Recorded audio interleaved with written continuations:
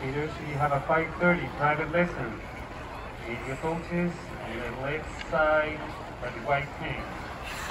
Once again, if you have a 5.30 private lesson, video coaches on the left ramp by the white tank.